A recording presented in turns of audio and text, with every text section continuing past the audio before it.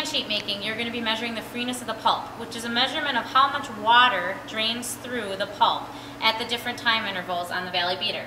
So this is the freeness measuring device. The first thing you need to do is close the bottom lid, or it will not work.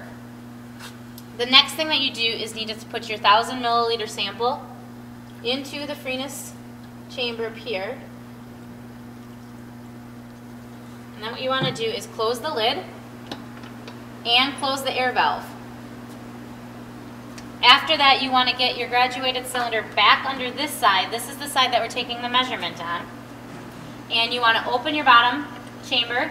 Notice no water is really dripping out. It'll all drip out when you open this.